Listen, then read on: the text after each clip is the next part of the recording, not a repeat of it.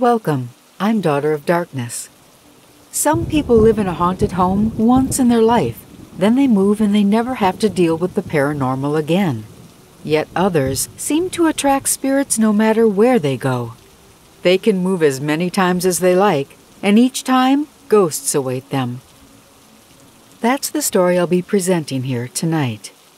Be sure to join me here every Thursday at 5 p.m. Central for new content.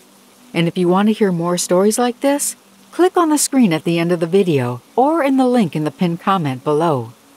The great gods of YouTube are very pleased when people watch more than one video, and we want to keep them happy, don't we? That way, they'll continue to allow us to keep meeting like this every week. But for now, sit back, relax, let me lead the way, and let's get scared together, together, together, together, together.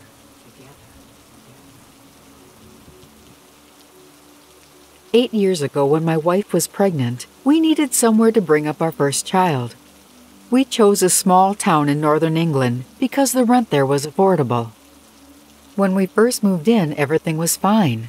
We were very excited about starting our new family, and we happily went about decorating our new home.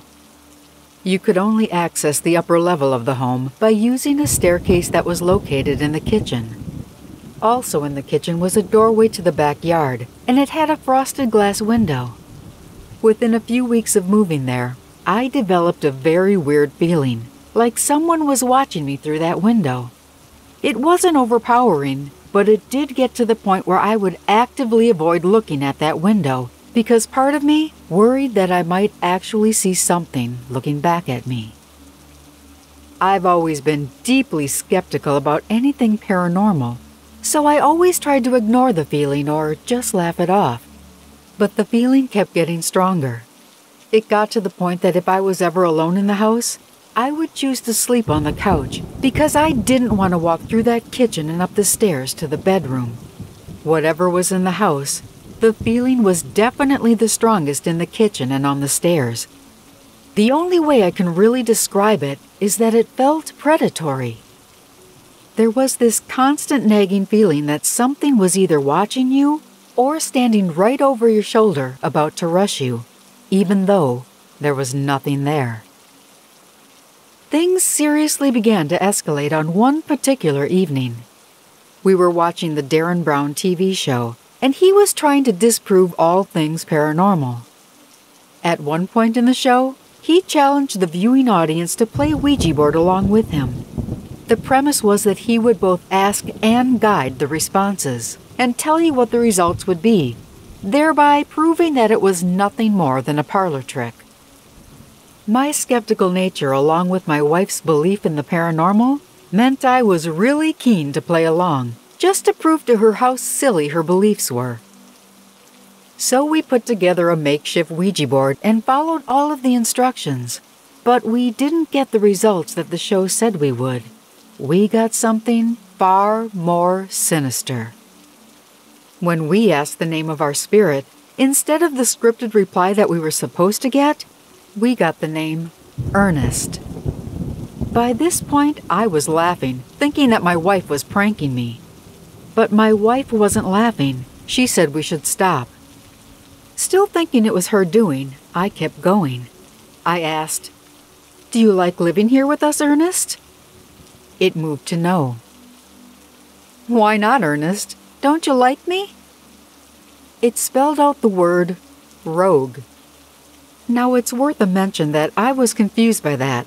My only experience with the word rogue was in a video game. I continued.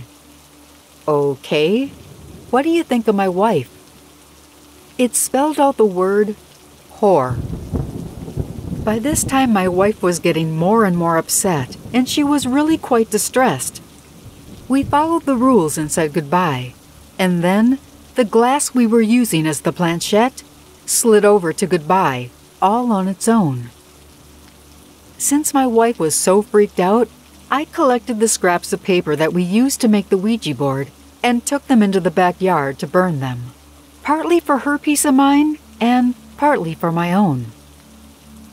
That night, 30 minutes or so after we went to bed, we heard a loud bang downstairs. I went to check it out, thinking that something may have fallen over, but everything was still in place. Since we lived in a terraced home, I told myself it was probably just the neighbors banging their cupboard door, so I went back to bed. The next night, again within 30 minutes of going to bed, we heard the exact same bang from downstairs. This started happening every single night.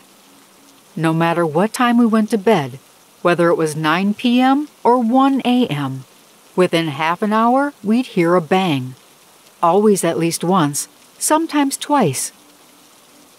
We tried to replicate the sound, and after trying everything, we discovered that it was a heavy cupboard door in the corner of the kitchen. When slammed shut, it made that exact same sound. I wanted to find out what was causing the door to bang shut. We'd never had any signs of pests or vermin, and the cupboard was fixed to the wall about six feet off the floor. I couldn't imagine what was making that door slam shut. So I asked my wife to let me set up a camera in the kitchen to record whatever happened in the night when we were sleeping. But she wouldn't let me do it.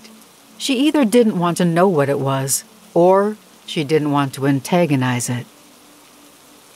Things really began going downhill from there. We would find ourselves arguing over the smallest thing having full blown shouting matches for hours over nothing. I'm normally a very laid back person, but I found myself constantly on edge, anxious, and angry. This didn't happen overnight, though. It was something that built up very slowly with both of us. We didn't even realize it was happening until much later, so this was not a case of waking up a different person from one moment to the next but a very slow, gradual change over time. I began suffering from nightmares on a regular basis. I would have very vivid dreams of family members dying in horrific ways, like being burned alive. I'd wake up screaming, and my wife would have to reassure me that it wasn't real. Also disturbing, she'd wake up in the middle of the night and find me lying there, eyes wide open, yet sound asleep. She'd gently tell me to close my eyes, and I would, but I'd have no memory of it the next day. I've never done that before nor since living in that place. The arguments between my wife and I got worse, and the regular banging noises at night continued. There was also an overwhelming sense that something was following me. That feeling was strongest in the stairwell despite my best efforts to convince myself that I was being ridiculous and trying to force myself to walk slowly up the stairs. I found myself clearing that flight of stairs three steps at a time, terrified. My wife told me she felt it too. There was a brief lull in the activity for about a month or so leading up to the birth of our child. It was around Christmas. The arguing stopped, and we seemed to be getting back to normal for a while. I thought we'd turned a corner. The nightly banging persisted, but we had gotten so used to it that we would just look at each other and roll our eyes. Then our son was born, and everything was okay for the first week or so, but the atmosphere soon began to change. The unexplained anger and anxiousness began to creep back in, and we started to fight again. Things were made even worse because our baby would cry constantly when he was in the house. He'd only sleep for 20 minutes at a time, and when he was awake, we'd spend all of our time trying to soothe him, but nothing worked. He cried so much that we took him back and forth to doctors many times.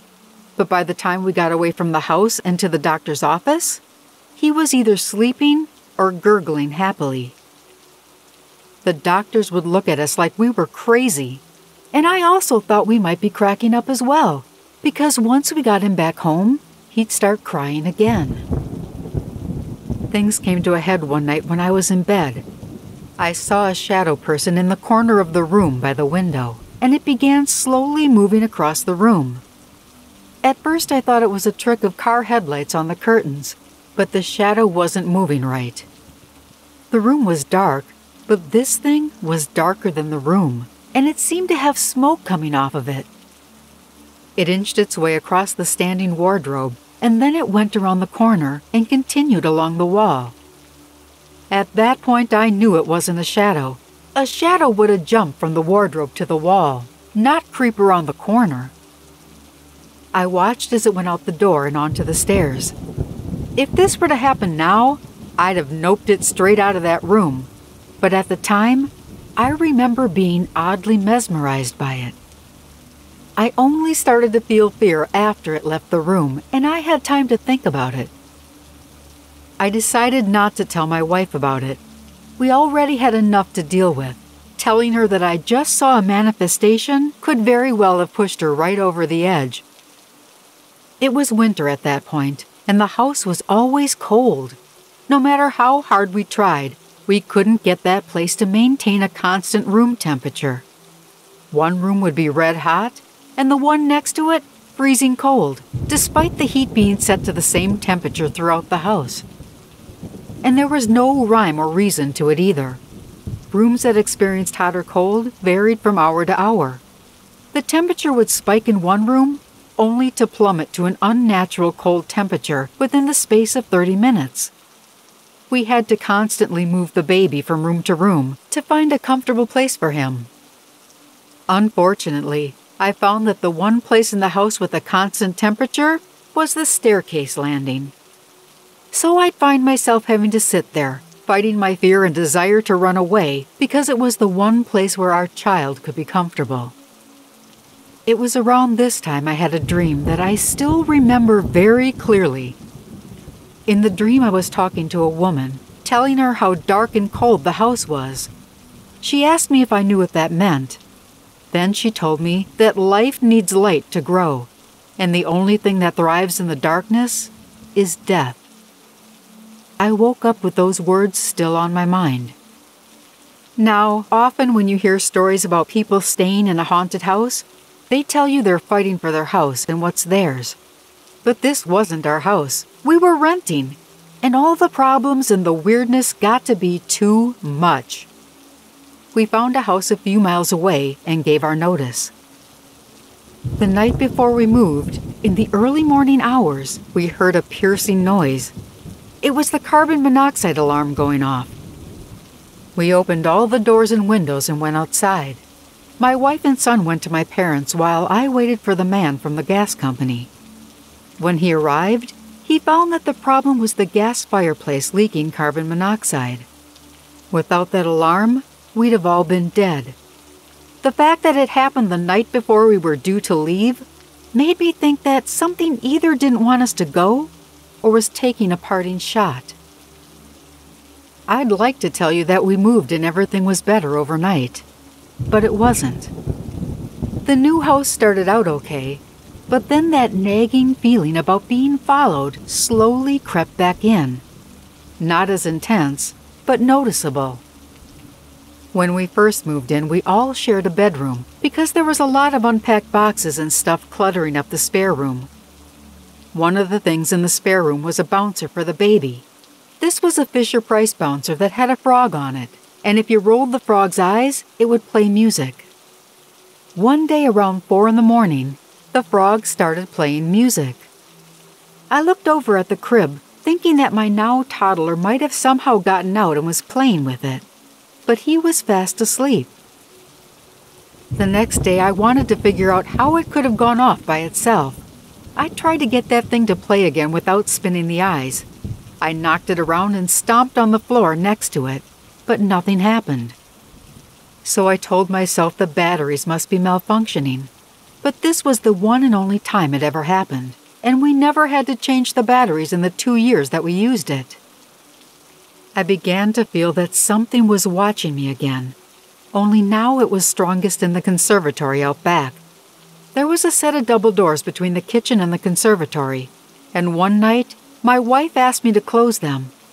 I didn't ask her why, I just did it. A little while later, I went out back to have a cigarette. As I stepped outside, the glass doors of the conservatory were in front of me. All I could see in the reflection was the kitchen behind me.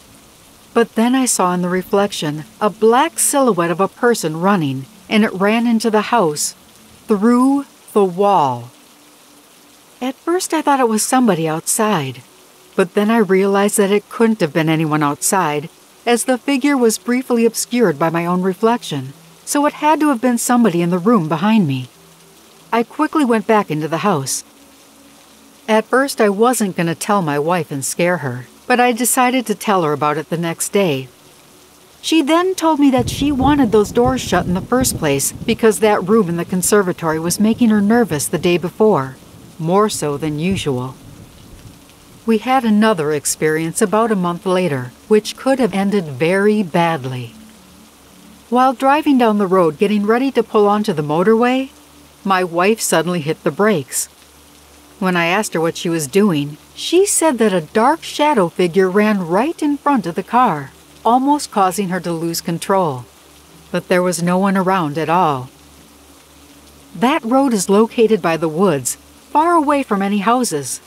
I was in the back seat with our son, so I didn't see it. But my mother in law was in the front, and she saw it too. We eventually moved again, but just like in the last place, this house took a parting shot. On the day we moved out, as we were taking our belongings from the house to the van, a heavy roof tile slid down the side of the house, narrowly missing us. This all happened about eight years ago now, but we often still walk past that first house we lived in. It comes up for rent a lot since nobody ever stays there very long. But the funny thing is, every time we see it on the market again, we both have a very strong desire to move back in. We've even talked about going for a fake viewing just so we can walk around the place. We never have, but even the idea that after everything that happened to us there, we still feel an urge to go back, well, that's something my brain just can't explain. I'm tempted to go back through all the old census records to see if an Ernest ever lived in that house. But so far, I've resisted that temptation. Partly out of fear of setting something off again, and partly because I might not like the answer.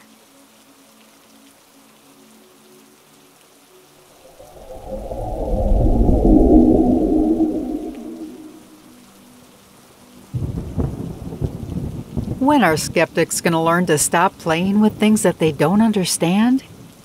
Just because you don't believe in something does not mean that it doesn't exist. How many stories need to be told before people start realizing that? Have you ever lived in a haunted house? Let's have a conversation about it in the comments section below. And after that, you can click on the screen above and keep listening to more stories so that you can stay scared, my friends.